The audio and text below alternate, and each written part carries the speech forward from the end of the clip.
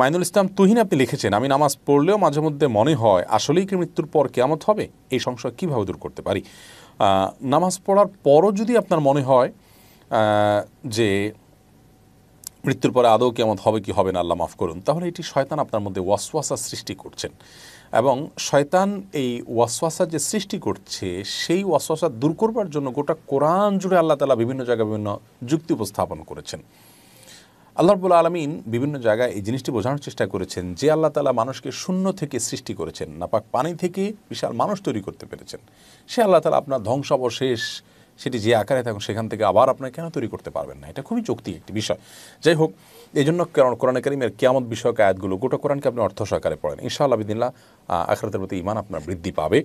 আর সেই সাথে এই সংশয়টা যদি অহেতুক আসে শয়তান আপনার মধ্যে সৃষ্টি করে, আপনি এটা নিয়ে অরিড হওয়ার কোনো কারণ নাই।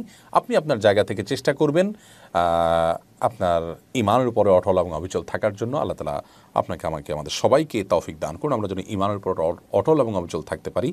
আর মনে রাখবেন, ওয়াসওয়াসা মনের ভিতরে আসা, এটা তো ইমানদারিতার লক্ষণ। কারণ হলো যে বেঈমান তার মনের মধ্যে তো ওয়াসওয়াসা আসে না।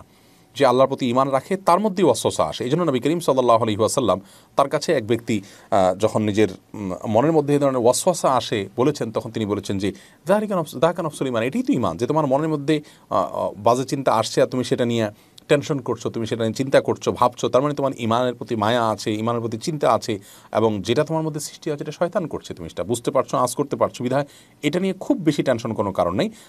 সাথে সাথে আমরা আমন্তু বিল্লাহি ওয়া রাসূলি, আমি আল্লাহর বা আমান্তবিল্লাহ আমি আল্লাহর প্রতি ইমান আনলাম। এটুকু আপনি বললেন এবং বাম দিকে প্রতীকী থুতু নিক্ষেপ করলেন তিনবার। এতে ইনশাআল্লাহ শয়তান সাধারণত বাম দিক থেকে মানুষকে অ্যাটাক করা এবং বাজে চিন্তা মানুষের মধ্যে প্রবেশ করা সেখান থেকে আপনি পানা পাবেন ইনশাআল্লাহ তারা